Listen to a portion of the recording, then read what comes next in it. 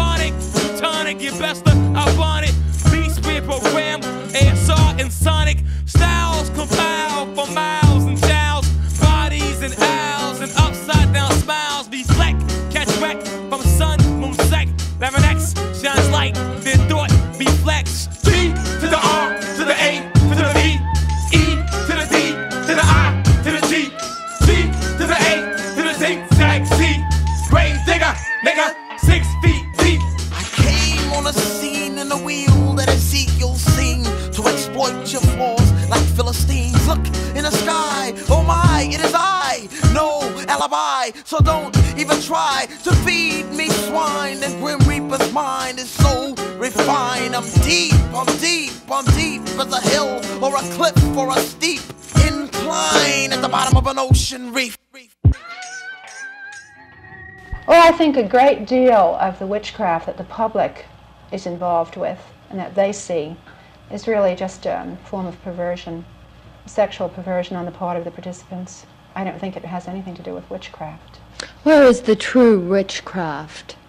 I think the true witchcraft stems back into uh, the Dark Ages when uh, man was very much involved in trying to um, assert himself in his environment, and uh, the witches of the past were involved in helping people with uh, medicinal um, activities, herbs, and so on. I think that's what true witchcraft is. You described yourself as a rational witch. Well, Uh, as rational, I think, as any creative individual can hope to be. I don't consider myself uh, completely normal. I realize I'm abnormal, but I think of myself as intelligent, and I don't have um, an attitude of wishing to um, invade other people's privacy with wild predictions, as some of the psychics do. I'm not too terribly interested in that. Unfortunately, if you're in the public eye and you don't make predictions, you're considered a phony. You can be psychic as hell all of the time, but if you don't make a prediction about an earthquake or who's going to be the next president, you're not um, you're not running out front.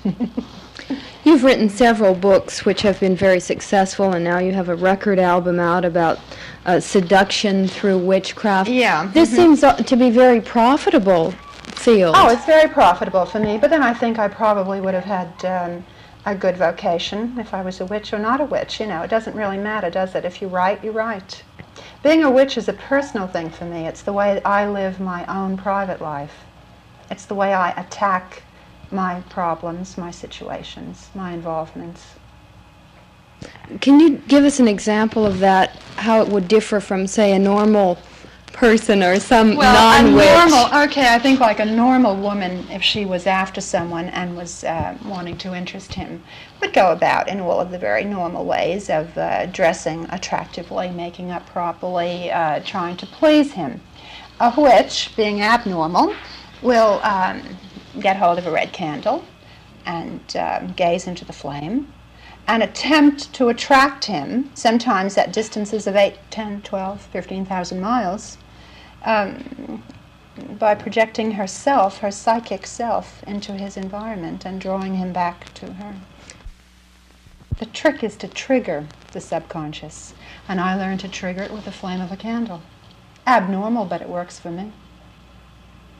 Hand me a candle.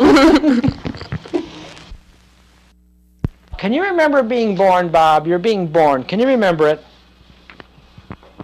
You can't remember anything about being born. We're taking you back into your mother's womb. Can you remember anything in your mother's womb? Bob, remember anything? Speak if you can. I'm going to take you back beyond the barrier of birth. If you can r- see anything, let me know. As you as we count the centuries back, you will. If there's some consciousness, you will know it. If there isn't, you will say it's dark. You understand? One, two, three, four, mm, five, six. I'm talking your subconscious mind. Seven, eight, nine, ten. Freeze! Now, who can open their hands and who can't? If you can't, don't be alarmed. If they're frozen, don't be alarmed. Hi. Uh, who's frozen? Okay. Okay. Open up. Open up. Open up. You're right. Okay. Now, we have shown one thing what can be done with a psychosomatic. Okay. I'm going to lay these out in a very simple pattern. The first card will be a card that covers you. So right over you, the high priestess, is the card of the magician, or, or Hermes. And beneath you is the queen of pentacles, and above you is the page of cups. Now, in a tradition of divination, um, the magician would explain to you what powers or energies are available to you. So, really, as a practical means of psychotherapy, is the way the, the gypsy fortune teller once a year he'd come into town and straighten out everybody's head for them. You see, that's that's why they dug him. Uh, these are they're very complex patterns. They're very simple patterns. This is a simple one. You'd put one card on the past, and, and that card, like would be a four of pentacles, it would be anchored down in materiality. The pentacles being the suit that, that's concerned with earth. So your fortune, like, would depend upon this very firm but but very uh, solid and low-level earthly uh, structure. And then your fortune would be read in terms of this possibilities that are open for you out of the chance of all these cards. Why should just those cards come up, you see? Uh, nobody could tell you what they meant. It'd be like, these are the powers that are available to you, and if you want to use them, you use them. If there are dangers, then you're aware of them, so you avoid them. so in a sense, you're saying that the individual has a ability to control their destiny rather than just acting as if this is a a mirror of the future? That's certainly the theory of, of the tradition of the Tarot. Yeah, is that it's uh, that it's wide open. That it's simply a message from chance, and you read it and you do with it with whatever you want. You can go to the future, which would be to the other side of this, with a bridge card. The bridge card that came up for you is uh, the day of judgment.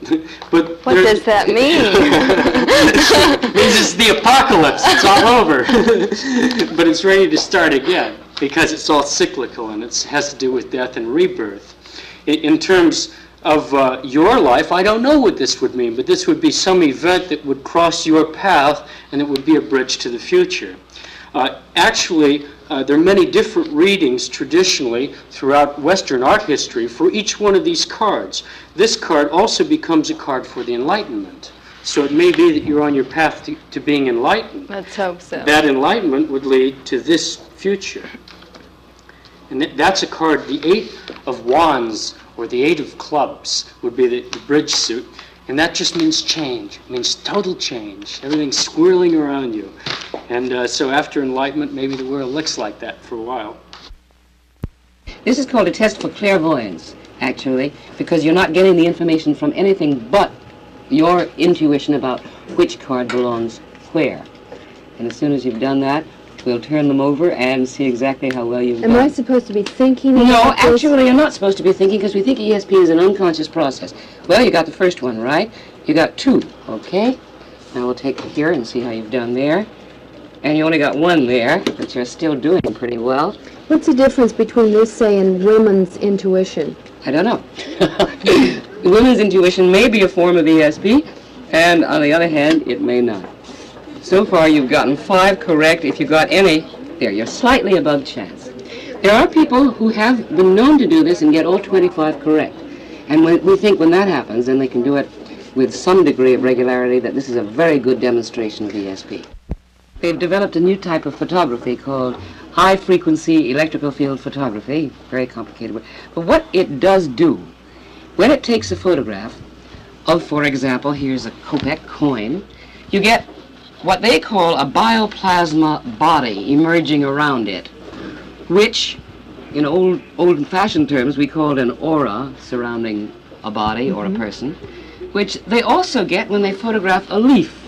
And I'm told that when the pictures are taken in color, they're very beautiful color emissions coming out and changing according to the state of the health of the organism. They can do it with people too. Is this just a photographic It's a photographic experience? technique. Just a technique. Just a technique the way uh, x-rays are a photographic technique which will show the inside of the body. This shows an actual apparent aura of some kind, a bioplasma body that emanates, this is fingertips. And in a state of health, we apparently are emitting this from our fingertips. Now they did a very fascinating thing with a man who's supposed to be able to heal with his hands. They took a very uh, magnified picture of actually it goes this way, of his thumb under an electron microscope. And this is his thumb in a state of rest, and you see these projections of what look like fire, almost like the sun's corona, coming off from his thumb tip when he's not working as a healer. Then when he does start to work as a healer, we get this fantastic discharge of this bioplasma body. And their suggestion, their belief is that perhaps when a person claims to be healing with his hands, the laying on of hands that was talked about in the Bible, that maybe there is some sort of influence that here are the four lights, red, yellow, green, and blue. And depending on which button you press, if you think the blue one's going to light up, you press that button and it was wrong. Try it again for the green. I was wrong. Go ahead. Nope. Keep on going. Now you got a hit there. Now you got another hit. Another hit. Keep on going. You're doing very well. Four hits in a row. That's very When young irrationalists talk about the superiority of living under the rule of the subconscious over the conscious, I'm reminded of a drunken driver because that's the perfect example of a life run without conscious control. And the smash which occurs to him physically occurs to these young people psychologically and sometimes physically. Mysticism, the supernatural, the occult are born out of fear. They are born out of psychological terror. Now, people have a great deal to be terrified of in the world today, it is true. But if ever they needed their rational faculties, it's now. Unfortunately, too often when people are frightened, their rational faculties are the first things they drop. And they reach for astrology, religion, some other kind of occultism, Satanism perhaps, imagining that they will thereby give themselves some kind of security, some kind of reassurance that the world isn't as they're perceiving it to be, or that they are on the side of some kind of higher powers that will give them some kind of protection. What can be done to turn the current trends toward a more rational direction? To begin with, I don't think it's going to last. I think we have made too much intellectual progress. I think it's a fad. I think it's so flagrantly a bankrupt dead end that I think people will get bored and tired of it in the not too distant future and it will collapse again into oblivion because it's so it is so irrelevant to life and to our needs today.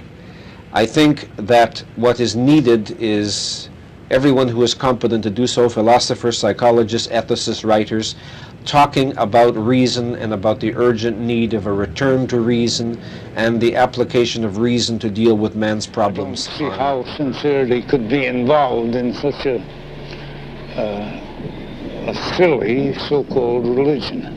He have completely sold himself to the devil. He have no part of God. He, everything he do over there is no part of God. Nothing God had anything to do with. It's something he created in his own mind.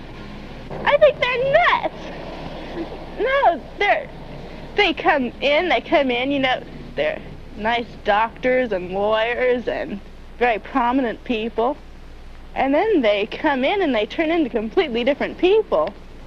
Well, it occurred to me for many, many years that there was a uh, large gray area between psychiatry and religion that uh, was untapped, and no religion had ever been based on man's carnal needs or his fleshly pursuits. All religions are based on abstinence rather than indulgence, and all religions, therefore, have to be based, on fear. Well, we don't feel that fear is necessary to base a religion on. the fact that religions for thousands of years have been uh, telling people what they should do and what they shouldn't do according to the basic whims of a person who might be running the show is very understandable. We're realists, we Satanists, but we also feel that a person has to be good to themselves before they can be good to other people.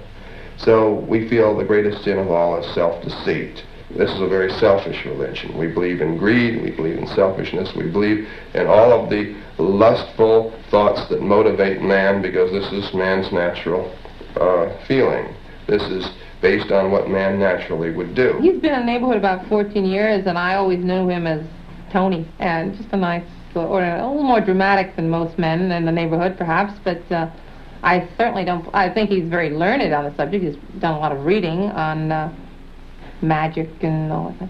Actually, I don't know what kind of man he is, because uh, his appearance is very nice.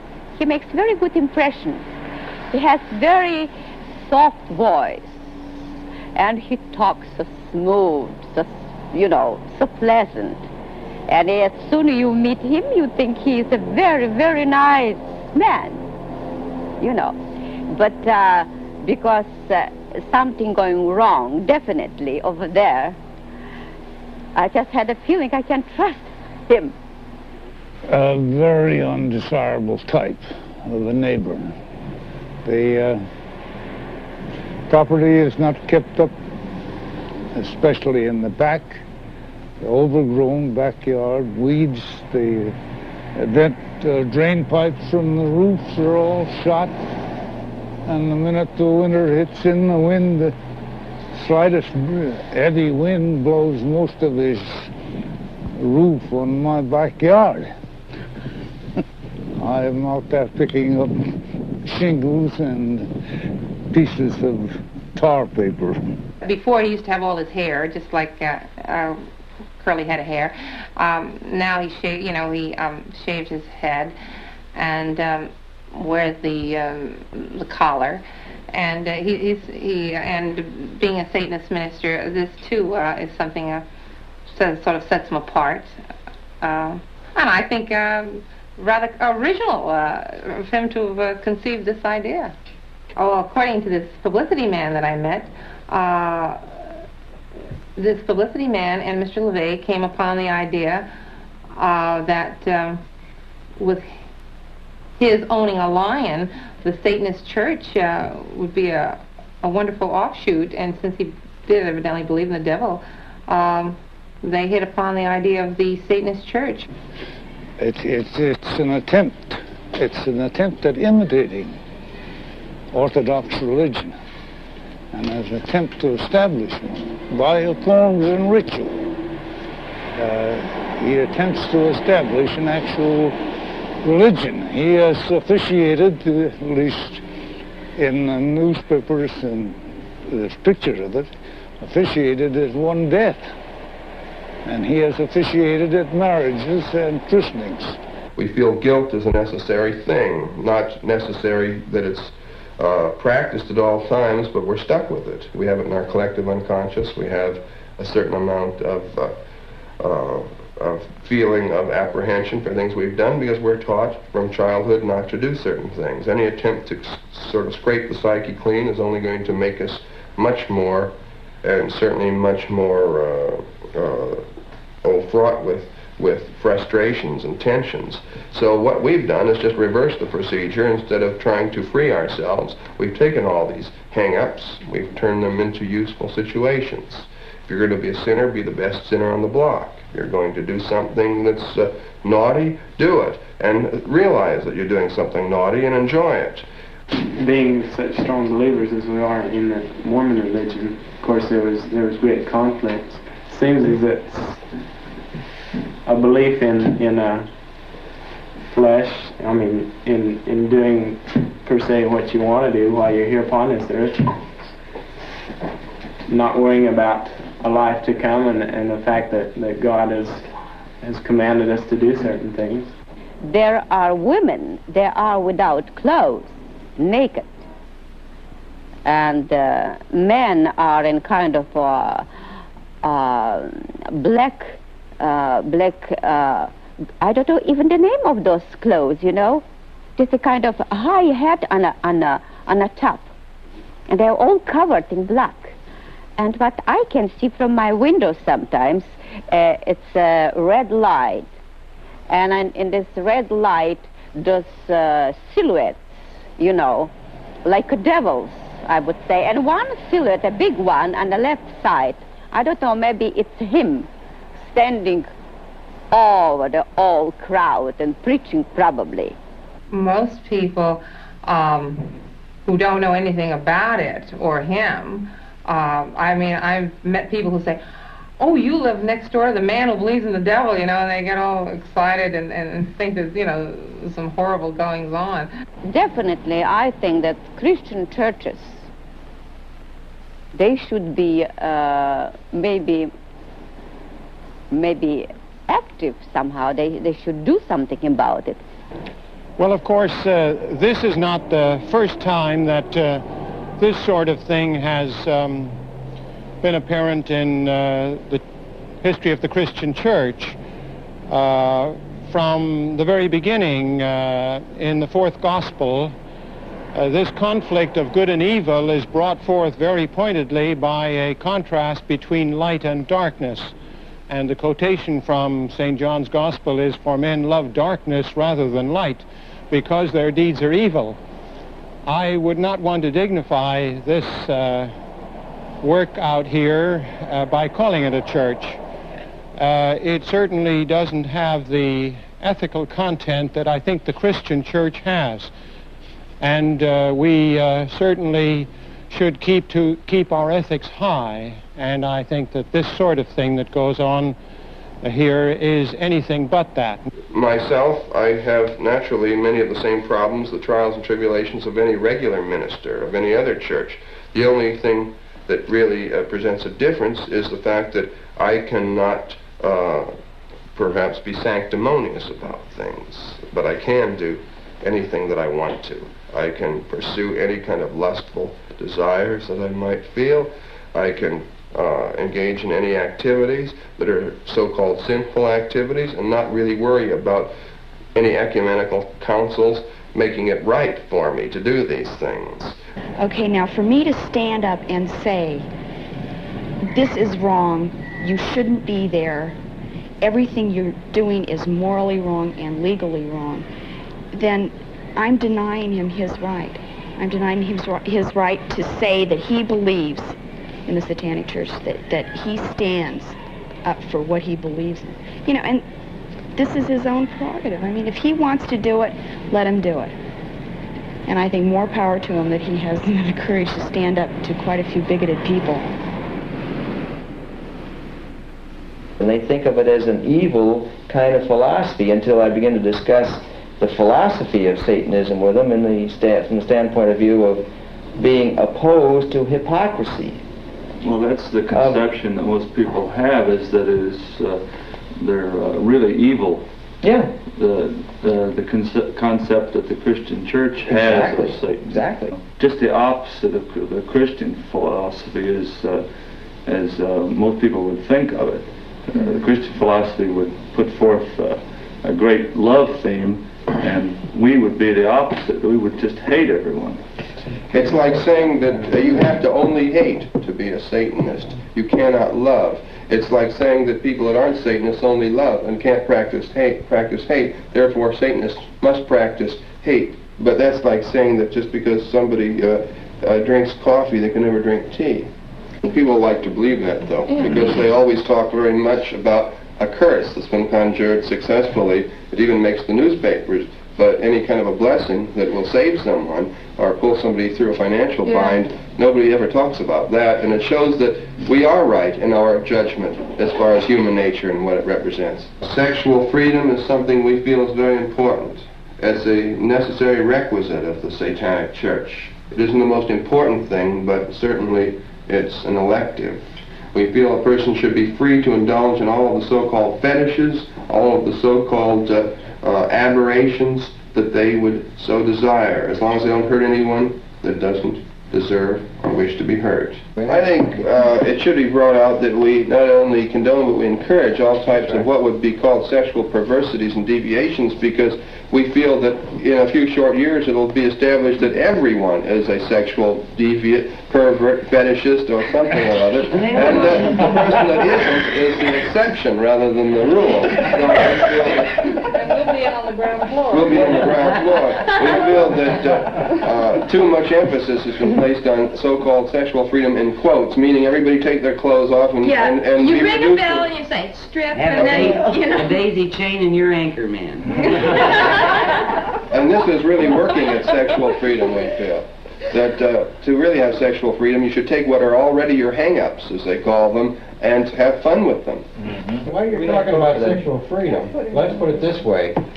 There has been very few people that are against it, whether they belong to the Satanic Church or not. They just don't want to admit They it. won't admit it. So, Yeah, that's right. just as much. And they Well, it's another one of those. IOUs. And this is practiced very freely you know. by other groups other than there. Here it's an individualist, uh, it's individual desire. If you want to do this sort of thing, well, that's up to you.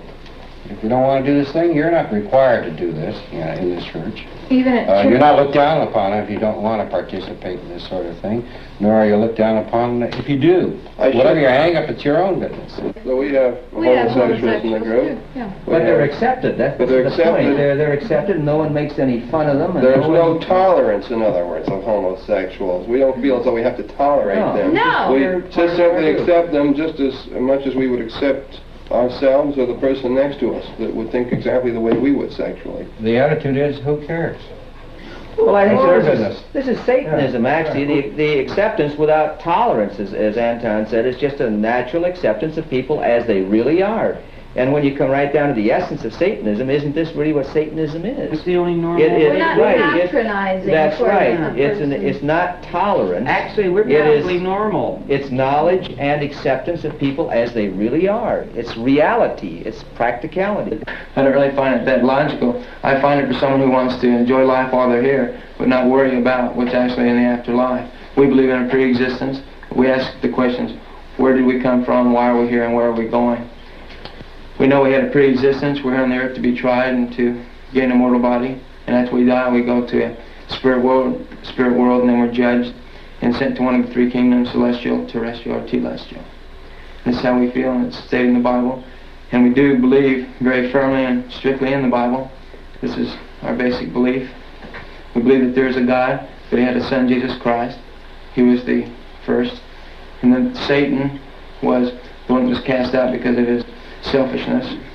I guess the two most popular reasons that people join the church is because either they're just disgusted, they're just fed up with the sanctimonious pussyfooting around that other religions have given them, and they're just tired of uh, saying one thing and practicing another, and they'd like to at least get together with other people, and after all, man is a social animal, and uh, no different than any other animal, except he's probably the most vicious of all animals. And uh, he wants to get together with other people that feel the same way he does. And why not belong to a religion or to a group of people that at least uh, believe in the same philosophy? I met Anton at a party, and there was an immediate sympathy between us. So we exchanged cards and talked to each other over telephone. And uh, Anton said, I know you're a witch, and you must come to our Walpurgis night, which is now about three or four years ago, isn't it, Diane? And uh, from then on, I became more and more interested. Of course, I was interested in witchcraft to begin with, and that is connected with Satan, as we all know. It wasn't actually that I was interested in Satanism. It was that I was interested in witchcraft. And I always had been, and I happened to read an advertisement for Witch's Charm School with lectures by Anton LaVey. And I wanted very badly to go, and finally I called and asked what time it started. I came. So I learned about love potions and charms and um, but mostly I guess is the charm school was how to attract a man. Do you think it's worked for you? Why, I think it's worked.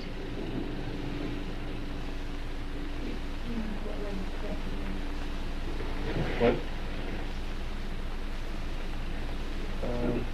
But I'm not out to get any particular man. There's a difference, you know? I mean, I'm not out to get one for keeps, you know? You understand what I'm saying? Yeah. Okay. I look at it this way. She might be somebody's daughter or somebody's sister, and I wouldn't want somebody to take my sister out and to use her before she was married because this is something that we teach in our church. And I think that she should really wait for her husband. And by taking advantage of a girl, I would be doing something to someone's sister or someone's daughter that they wouldn't care to have done. And she will lose her virtue, but often regret it afterwards. And this is what we try and fight against, the sorrow that is caused by uh, something right at the moment.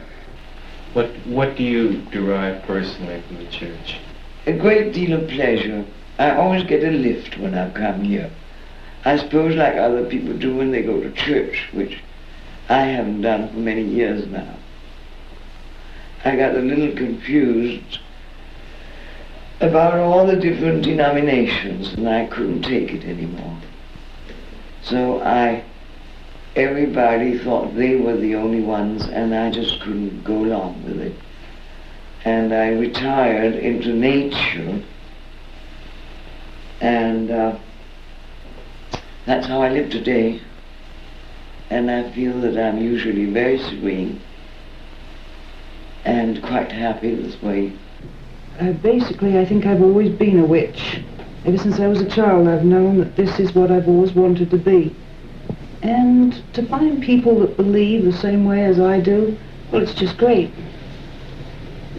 What What do you get out of Satanism? Um, for one thing, it gives you great self-confidence. You know you can do things, anything, really, anything that you want, you can do. You can accomplish either through your own ability or through magic, one of the two. I was raised to believe in God, so naturally still, I believe there is a God. I don't believe that he does all the things that you're taught in Sunday school and to believe that he does, but I do believe there is one. I don't think that God is dead. I think that we have a power, or maybe many powers. And it certainly looks to me, the way the world is going today, that what people think is the evil power. Now, I don't connect that with Satan altogether. But that is the prevailing power today. It has become an eccentricity to be honest, for instance. And uh, all the hypocrisy that we have to not accept because I don't, I won't have any of that. But that is going on. It revolts me. And I don't like bigotry. So in some ways I'm bigoted too because I'm intolerant of intolerance in any form or shape. Do you, do you have any children? No. What if you? I only have dogs. I worked up my mother complex on the dogs. If, if you had children today, how would you raise them in Satanism and how would you raise them? I would raise them to be themselves. I would raise them with certain ethical principles which I feel are necessary. It's happier to be that way. I cannot tell you whether I would raise them in Satanism. I don't think I would raise them as Christians. I do not today consider myself a Christian anymore. uh, heard that at one time he was planning on um, setting up sort of a house of whips type of thing. Um, similar to something that they had back east. There was this uh, German gal or something like a, the Countess of the Whips in New Jersey or something. And I understand that she was here in San Francisco and that he was planning to do something along this line with whips and masochism, sadism, and all that stuff. And this did disturb me. But um, I understand that this did not pan out.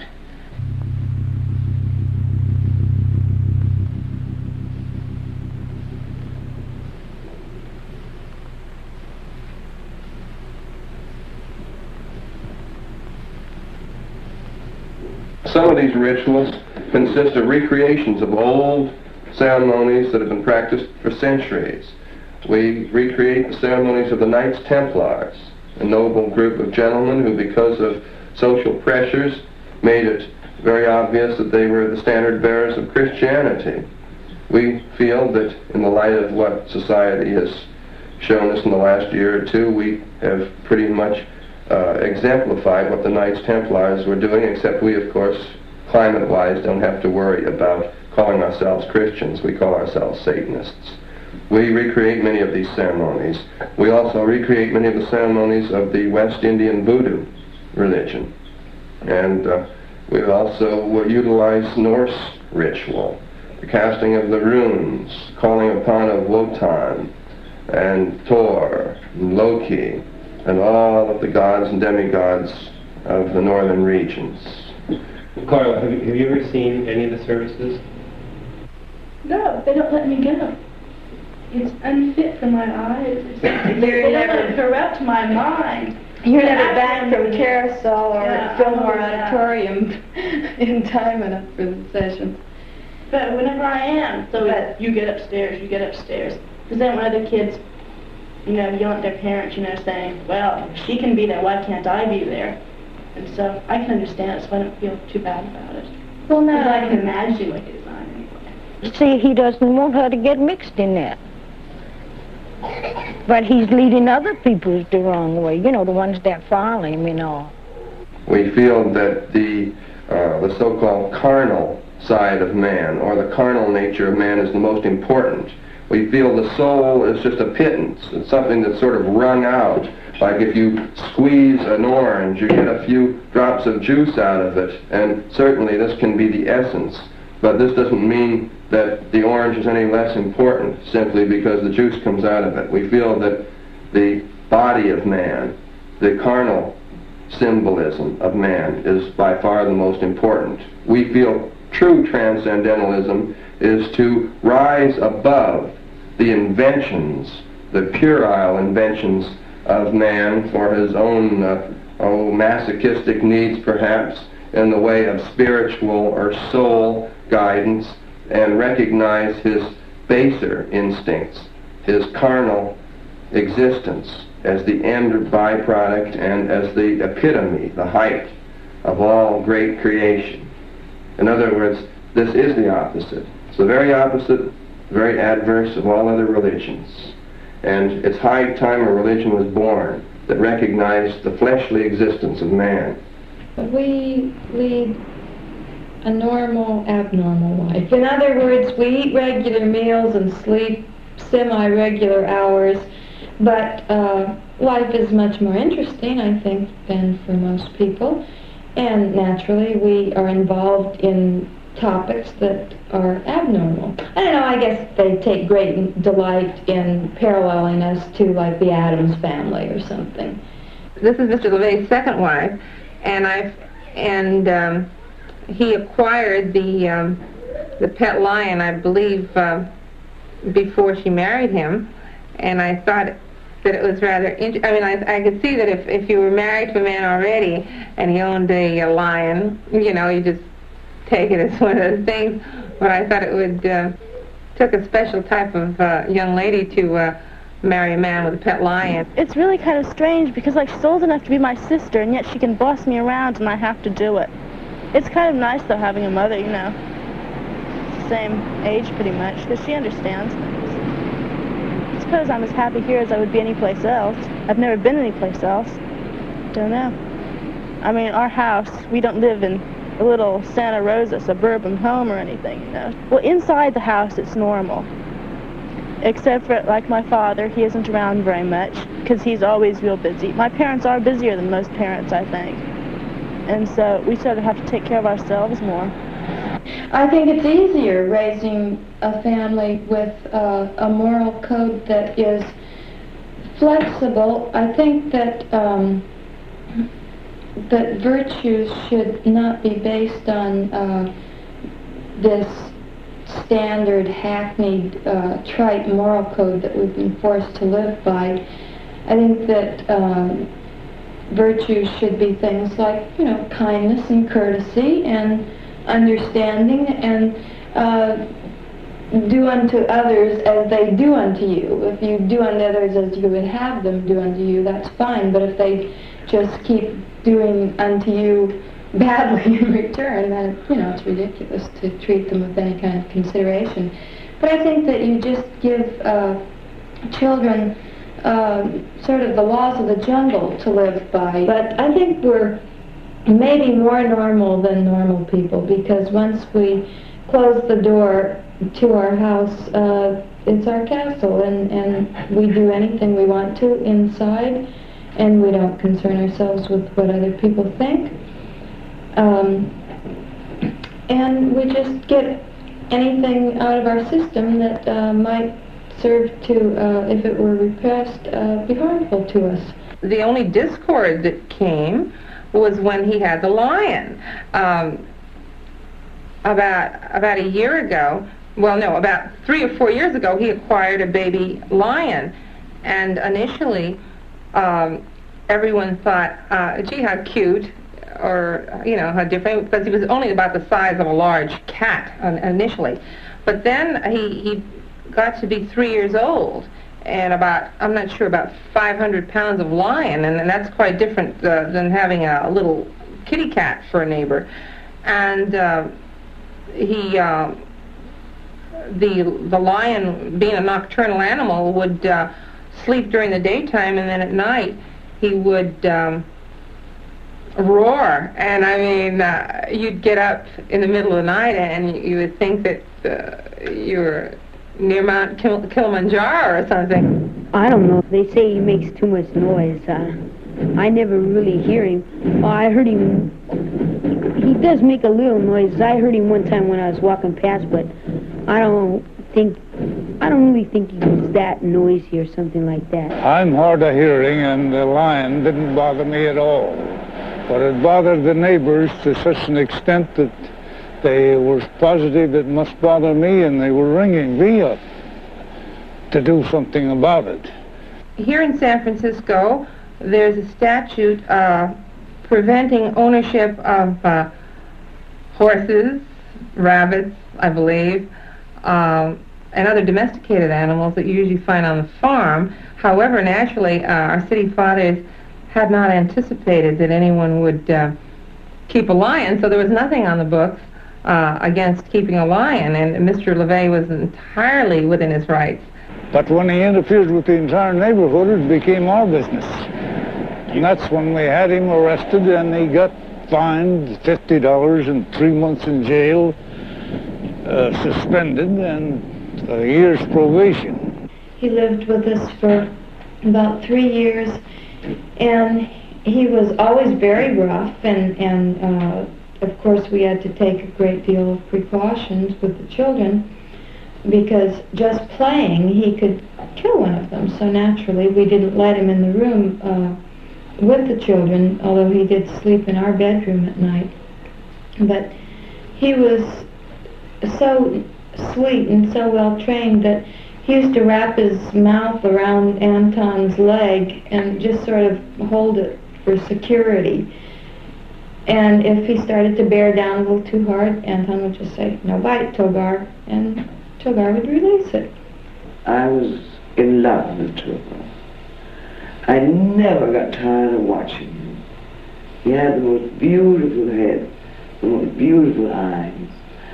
And one night I wanted to pet him, and I did pet him, but he wanted to play with me. So he grabbed my wrist. And my dogs do that quite often, and I didn't think about it until his fangs were going down into my wrist. And then I just stood there like I was petrified, and Diane said, he's biting you, isn't he? And I said, yes, he is. but I didn't know what to do. If I had known it, I would just have said, no, no. You know, I knew that if I tried to take my hand back again, I probably wouldn't have had a hand left. So I can brag about being one of the few people who's been bitten by an lion, which I'm very proud of. Oh, well, I can remember when he had the satanic wedding, the kids were sneaking up in the house and pulling open the, the curtains to see if there really was a nude girl on the altar.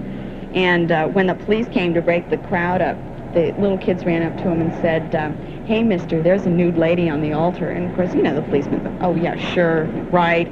Walked into the house. Not only did they see the lion, but they saw the nude lady. And you've never seen so many men with such a shocked expression on their face in your life. I heard something uh, else, but I I don't know uh, too much. Else? What else? No, no, no. No, uh, really. Uh, but um, No, please, please. uh, no, really. Uh, No, it's okay. It's okay. Don't don't don't worry. You know, just what else did you hear? well, I'll tell you if you turn out the camera first, and I'll tell you. Um, well, you remember when I told you that I met Mr. Weber?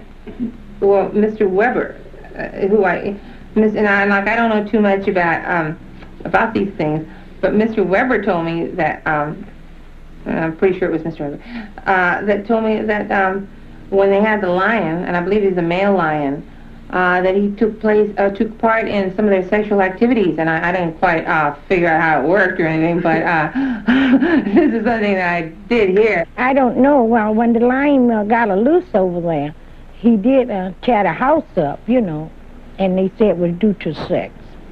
That he was uh, wanted to mate, and he went to the bedroom where his wife was, which his wife do have a scar on her left shoulder where the lion attacked her. I saw that in court myself, because she was sitting next to me when she pulled her blouse down. You could see where the lion had struck on the shoulder. So now he might would train him up to that, you know. He's the baby. He had him from a club, so he could have actually trained him on that. He um, was babysitting uh, this jaguar for a friend, and he had the jaguar downstairs. And the lion evidently uh, smelled the jaguar down below, became jealous and enraged, and went on a rampage, started tearing up all the pipes on the porch. And um, they couldn't call a plumber very well because not very many plumbers are going to go in. So anyway, and then uh, Mr. LaVey brought the lion inside, and he did quite a bit of damage, according to the papers, uh, to Mr. LaVey's own personal effects. Um, you know, drapes and um, a leather coat I read in the paper and a few other things. And still Mr. LaVey didn't uh, donate the uh, lion to the zoo, uh, but then on the following day he did some more damage. he did uh, damage two days in a row. And then at this time, uh, he did decide to donate the animal to the zoo. And uh, at that time, he um, bit, I think, the man from the SPCA, and um, one of the policemen, too, was nipped, I think, too. It was really very sad that we had to take him to the zoo. Um, we didn't want to naturally, and never would have had would have unless we had really been forced to do it. We put a generalized curse on all those who helped to get rid of Togar, and they've either a curse will do one of two things. It will either uh, destroy or rehabilitate, and that's exactly what's happened. We perform human sacrifices by proxy, you might say, the destruction of human beings who would, let's say, create an antagonistic situation towards us in the form of curses and hexes. Not in actual blood rituals, because certainly the destruction of a human being physically is illegal. But we feel that the sacrifice should be a deserving one. We don't chop up babies or cut the heads off of cats or chickens or goats. We feel that this is another example of the sanctimonious hypocrisy of those who call themselves witches, warlocks, white magicians, who have practiced these things for centuries. Well, his one neighbor, when we was in court there, he testified that he had put a spell on his little girl. He said that uh, his little girl was sick and it was due to Mr. Lovell was uh, had a spell on him. Well, it always works. There's no doubt in my mind that it's not going to work. I mean, we just say make something happen, it happens. They say he charged from two hundred to three hundred dollars for this. But if it's good luck, he put it on you, and if it's spell, if he get mad, he can put it, turn it into a spell. They claim to uh, cause the cliff house, which was being wrecked, to uh, burn up but that is after the event. No, I'm not afraid that he's put any hex on me. I've put one on him, though. And my hex on him is that I hope he begins to believe himself. If he does, sooner or later he'll be pinned up. Uh, well, um, I don't know too much about it, but uh, I have seen uh, boa constrictors. Uh, in fact, I, I'm really um, a little leery of uh, snakes, but I think I touched one at a, at a junior museum once. And uh, they're, uh, in fact, I thought it was kind of, they called this particular one uh, Julius Squeezer. And, um, you know, they, uh, they're really kind of uh, harmless. so, I mean, uh, if, you know, if, if she wants a boa constrictor around her, that's all right. The paintings are a collection of, most of them are my own, and uh, many of them were given to me as gifts by other people who thought that uh, they were not good enough for their own houses, or at least they'd frighten their neighbors or something. So they passed them on to me. I've got a lot of rejects, white elephants of other people, and uh, so naturally I'm very appreciative because most of the things other people wouldn't have in their homes are the things that I seem to wind up with in mine. Most of the uh, objects of art and the paintings are gifts or things that have been donated along the line, but the paintings that I've done are inspired pretty much through either articles, stories that I've read, fascinating dreams that I've had, nightmare visions, and uh, my own ideas for plots for perhaps situations and events. So you might say they do have stories, they're not just purely abstract. I would say these things like the skulls, the tombstones, the coffins, any of these various objects of art are memento moris, are just symbols of death. These uh, do not imply in any way that we're the least bit eager to die or have any sort of Freudian death wish. On the contrary, these are constant reminders that death is around the corner and death doesn't present a better uh, than what we have now world. Death presents a negation of many of the pleasures of the flesh, and certainly most of them. And uh, so we feel that the more things that can remind us of this, the more inspired we are to live each day to its fullest.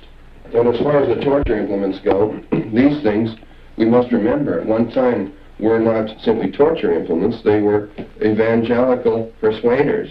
And most of these things are from the Inquisition, and uh, this type of, of device was known as a holy water sprinkler at one time, and uh, also called the Morning Star. And so uh, these things represent man's inhumanity to man, but also represent something to the Satanist much more important than that, that right is based on might, and the victor, whether they're right or whether they're wrong idealistically, is always considered right. The tombstone was a gift from a mortician, a man in the mortuary profession, and uh, it's quite old. It serves as a coffee table.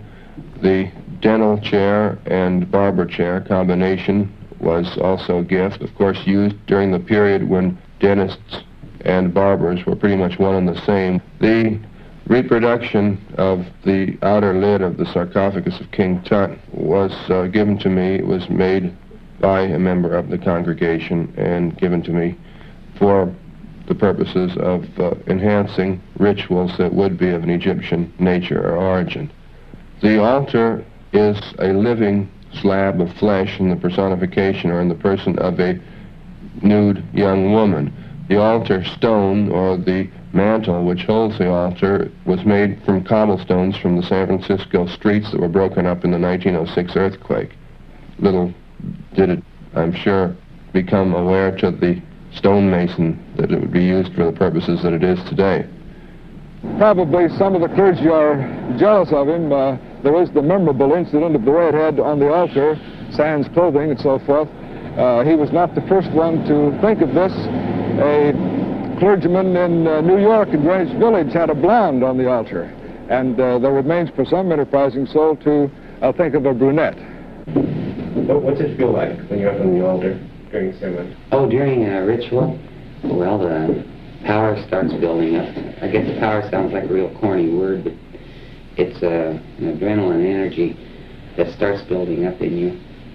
Don't ask me just why. I suppose it's uh, you should call, uh, could call it a satanic ecstasy, and you feel like you're the universe, not just a part of it. You feel like you're the whole thing, and sometimes your body just feels like it, it's just going to, you know, fly apart. Sometimes I just get so charged up that I don't think they can make a battery comparable. And, well, I don't know, it's completely exhilarating. I don't know whether people on pot or LSD feel this way or not. If they don't, I'm sorry for them. How, how old are you, Mama? oh, really now?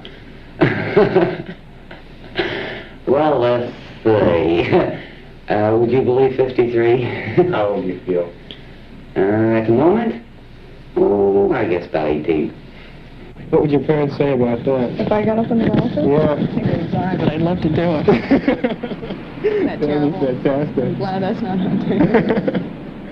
I think if there was a need for it, I mean, I, I'm not the type. I don't look like the type for a nude altar. I mean, usually their nude altars are usually, like they like to have them light-haired and voluptuous and big and fat. And I mean, that just isn't me. My girlfriend is built. I mean, she has a, an unbelievable figure. In fact, she does not look good in clothes. She's a little bit too well endowed. And uh, one, the, one of the priests that he has ke- keeps offering her, you know, a job at the altar. And every time she gets, we, uh, we go down to this, uh, every time she gets a little loaded, she keeps saying, you know, I want to do it. Let me do it.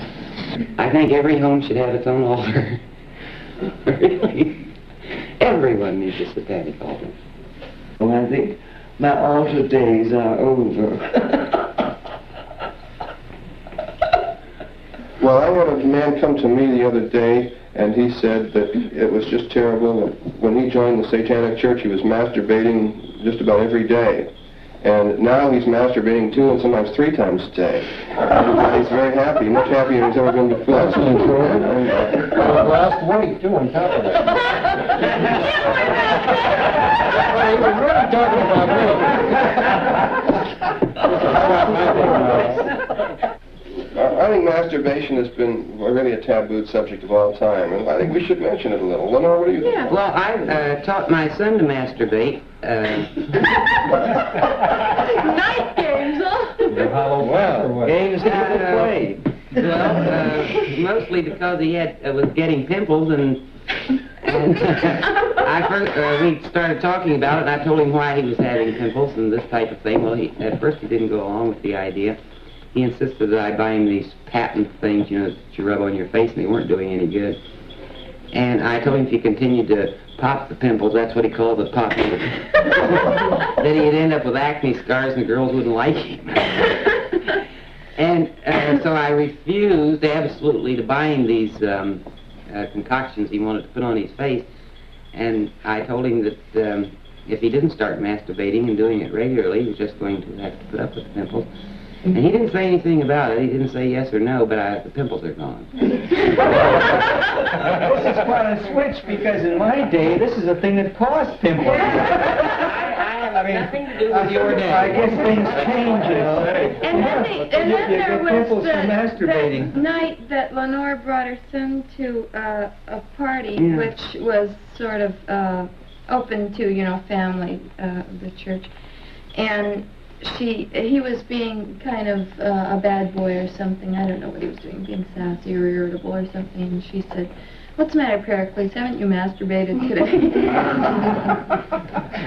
You know, the magical rituals that are performed by so-called white magicians and uh, have been performed for centuries in magical circles where they chop the heads off chickens or sacrifice goats and all this sort of thing. This is considered the most secret of secret sacrifices, the most violent of all sacrifices, that of the blood sacrifice. The blood sacrifice is really just a, a lesser version of a much eviler sacrifice, which in some of the old grimoires on witchcraft and ceremonial magic are hinted at only enough so that you know, reading very thoroughly, that the greatest of all secret sacrifices during a ceremonial ritual is, of course, the spilling of the seed on the ground. And so, rather than just masturbate in the eyes of their Jehovah, these so-called magicians would would kill an innocent animal just for its blood throw agony to be put out into the atmosphere, which to me is one of the true blasphemies, which of course is white magic too.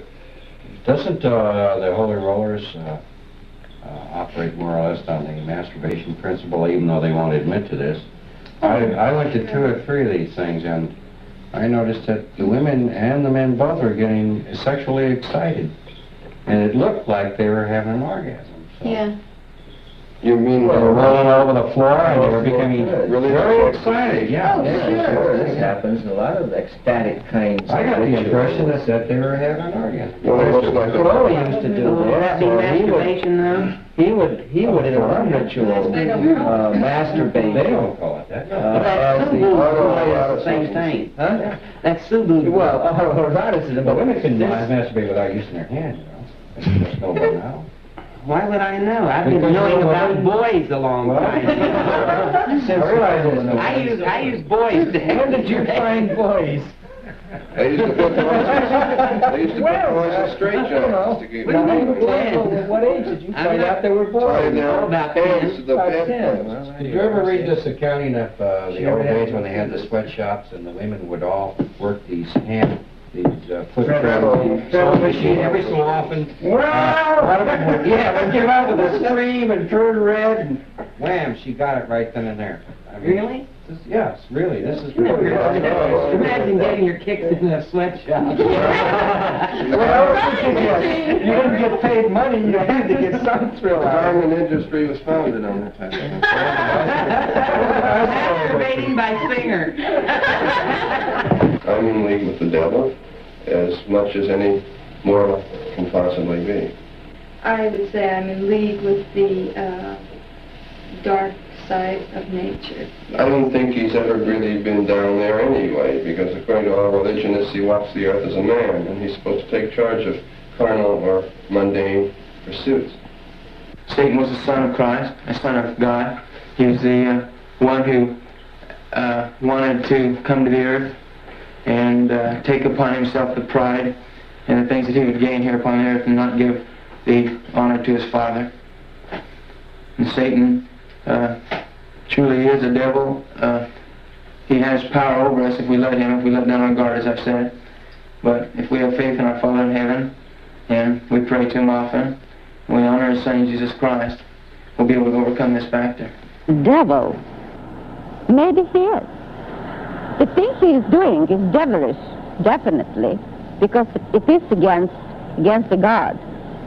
The idea of the devil and of Satan as an individual which he can communicate with is a fantasy in his own head or an imagination of his own. The, um, the hell that is supposed to be uh, controlled by the devil is what the individual makes for himself. If he's not in league with the devil, then his entire church, his entire religion's a farce. And uh, if, then, it, then it would be a racket, then it would be a religion. What do you think it is? I hope it's a religion.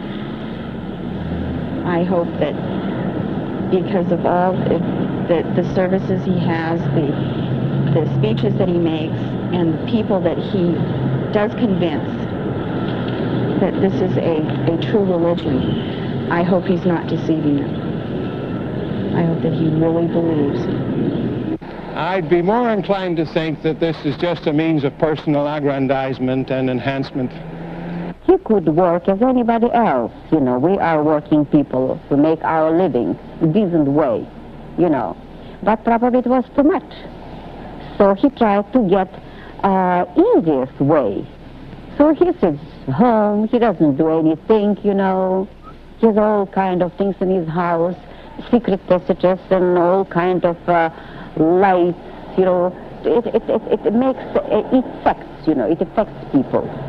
I uh, have no doubt that uh, he is uh, out purely for publicity. One of the most um, objectionable things to me is when a person asks, well, what do you have to collect money for? What do you have to charge for this religion for? Why don't you just have a free will thing where it doesn't cost to belong to this religion? And they accuse me of just being a money-making racketeer, a con man of some sort.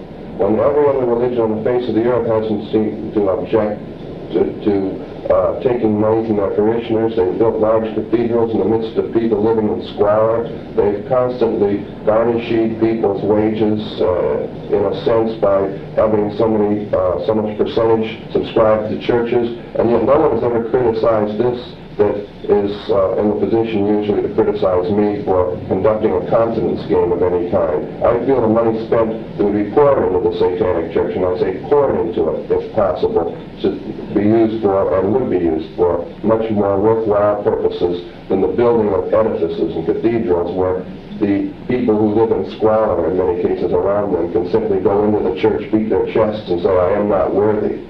At least when you give the devil his due. He smiles upon you for at least expecting a little payment in return. No, he's not charlatan.